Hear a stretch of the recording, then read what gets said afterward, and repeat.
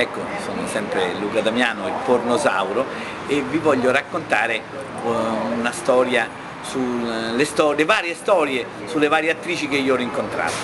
Per esempio la più importante per me è stata Lollipop sicuramente.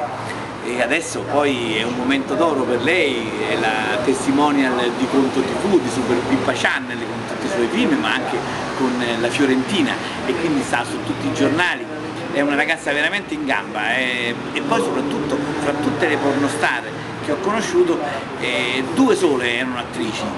Lei perché il suo padre è stato uno dei fondatori della compagnia di doppiaggio più importante il nonno è un attore famoso degli anni 30 quindi lei ha un background di attrice vera eh, che ha messo nel, nel, nei film porno e quindi è l'unica attrice eh, di film porno che ha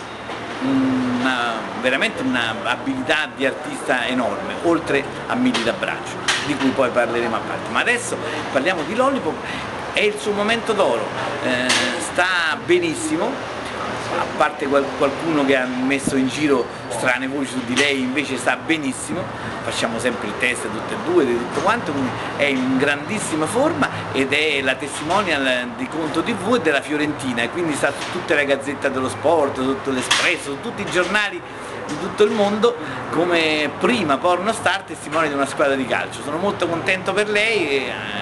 con cui ho un'amicizia di vecchia data insieme abbiamo fatto film come Lola il professore, che era poi il remake dell'Angelo Azzurro, in cui io, eh, oltre ad essere regista, interpretavo anche il ruolo del professore che piano piano si autodistruggeva nell'amore per, eh, per, lei, per questa Lola,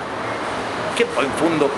eh, aveva delle cose vere perché io e Lollipop abbiamo vissuto insieme, abbiamo avuto una si dice, avventurosa amicizia per sei anni e quindi e insieme abbiamo vissuto molte, molte cose che c'erano poi anche nel film.